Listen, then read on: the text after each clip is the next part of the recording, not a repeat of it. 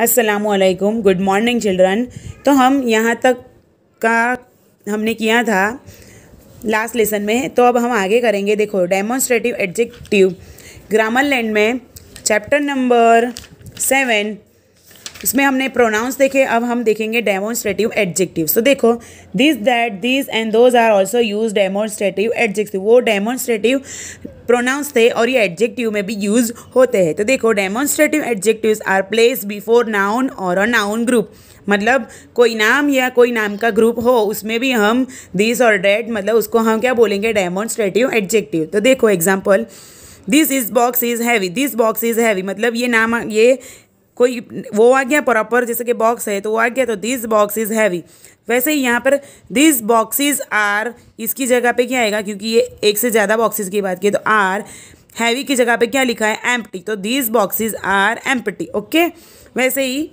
नीचे का देखो that girls is my sister तो यहाँ पर गर्ल है और इसकी सिस्टर बताइए जैसे कि नाम दिया हुआ है तो इसमें हमने क्या लिखा दैट हर एक नाउन के आगे हमने दिस या दैट लिखा है तो वैसे ही those girls are my friend मतलब ये गर्ल गर्ल्स है तो दोज आ गया, क्योंकि हमने आगे लेसन में देखा था कि ये प्लूरल में भी ऐड होता है।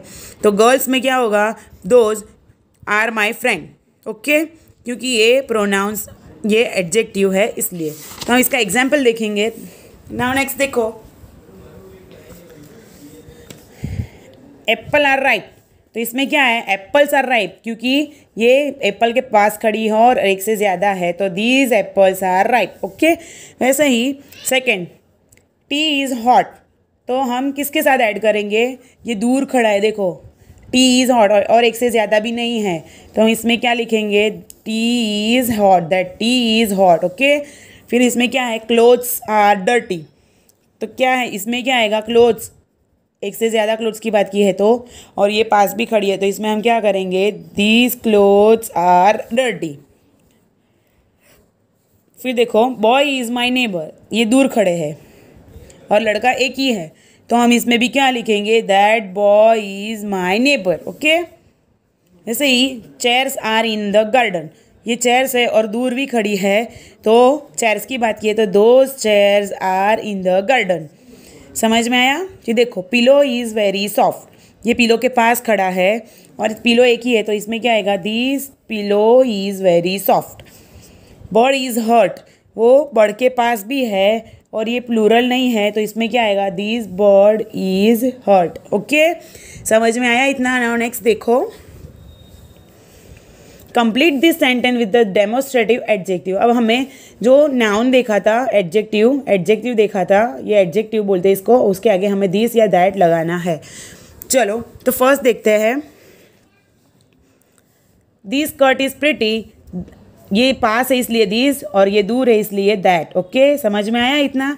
फिर देखो blank boys are very noisy तो ये क्या है? फ़र्स्ट में देखो। क्या आएगा इसमें? दैट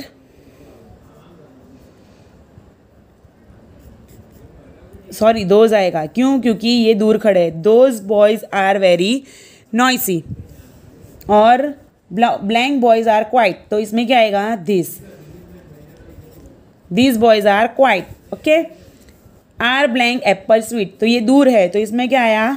आर दोज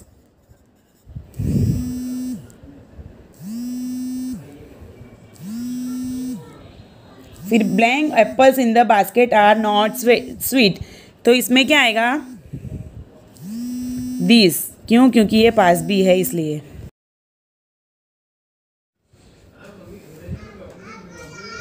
फिर देखो, इसमें इज़ ब्लैंक पेन योर्स मतलब ये पेन के पास खड़ा है या दूर खड़ा है?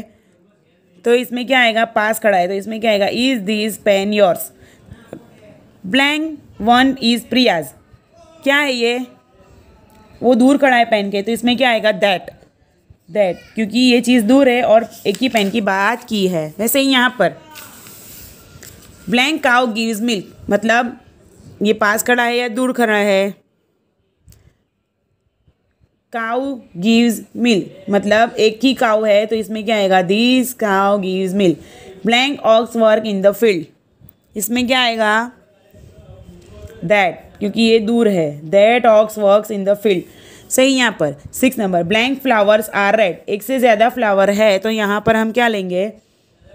दिस और पास भी खड़ा है तो this flowers are red blank flowers are yellow ये दूर हो गया है तो हम इसमें क्या लेंगे? दोज क्योंकि ये दूर है इसलिए। ओके समझ में आया बच्चा? तो देखो, अब हमें इसमें अंडरलाइन करना है। रतन एंड अरविंद आर देखो underline the demonstrative adjective in this passage तो देखो, हमें ये पैसेज पढ़ते हैं, उसमें हमें demonstrative adjective these those that जो है, वो हमें, जो एडजेक्टिव के पहले ऐड हुआ है, उस पर हमें अंडरलाइन करना है। तो देखो, Ratan and Arvind are on their way to school suddenly Ratan has an idea he says let us go and look at that जैसे कि इस पे की है that empty house near the jungle Arvind says does this street तो इसमें क्या आएगा? दिस क्योंकि ये एडजेक्टिव के पहले है।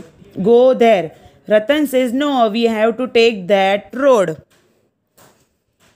come with me soon the, they see strange looking house. Arvind asks, is it is it that house? ratan notes, look at those. इसमें क्या आया? Those twisted creepers all around the house Says Arvind Ratan says, Look at that gate is open. Let us go inside. Suddenly they hear strange sound coming from inside the house. They run back to the gate in fright. Arvind said, Look at that. Okay? तो इसमें भी हो गया ये हमारा लो ये हमें समझ में आ गया इतना हमें करना है। तो इसमें कौन से कौन से है? One two three four and five okay ये हमें नहीं लेना है।